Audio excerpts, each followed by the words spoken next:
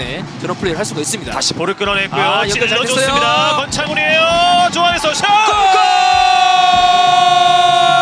멀티골 조규성. 이번에는 권창훈의 도움을 받았습니다. 권창훈이 복귀한 공격 라인은 지현학 선수 대신 권창훈 선수가 뭐- 나사 쪽을 겨냥해주면 끊겼습니다. 자, 권창훈의 아, 몇 차례 슈팅을 뜨고 말았고 골키퍼 확인제기 맡기고 말았고요. 권창훈. 권창훈 올 시즌 세 번째 경기에 나서고 있습니다. 요 그렇기 때문에 패스를 돌리다가 네, 상대가 준비가 안 됐을 때 원터치로 들어가는 네, 그런 논스톱 패스가 필요할 것 같습니다. 네, 권창훈의 드리블 과정 터치로 잘 돌려줬고요. 조규성 돌아서면서 찔러줍니다. 권창훈이 왼쪽을 선택. 서진수, 정동윤. 빗솔 밀고 나- 올라오는데요. 네, 맞아, 나왔습니다.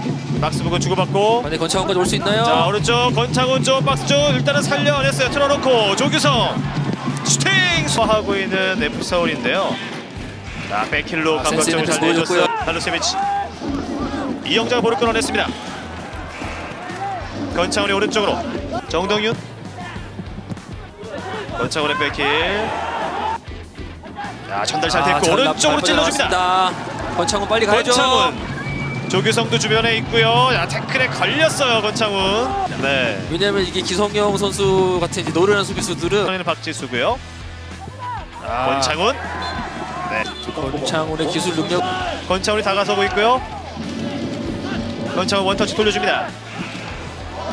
자, 라인 부분에서의 짧은 퍼- 패스에 원터치 돌려가고 있습니다. 태양 감독은 이제 판정에 대해서 어필을 하고 있습니다. 오른쪽에서 권창훈 점- 발이 좀 깊었는데 플레이 계속 이어집니다. 아, 분명히 이제 축구라 축동원 선수가 교체 교체 출전하면서 출전 시간을 늘리면서 네, 안익수 감독 있고요. 자 가슴을 돌려준 조규성 선수입니다. 권창훈. 터치라인 부분에서의 몰다툼 끌어냈습니다. 네.